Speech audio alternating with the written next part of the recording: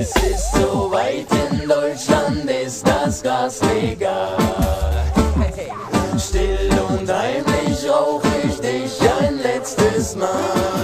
Hey Leute, es ist soweit. Die Bundesregierung hat erklärt, dass am 2015 THC in der Bundesrepublik Deutschland legalisiert wird.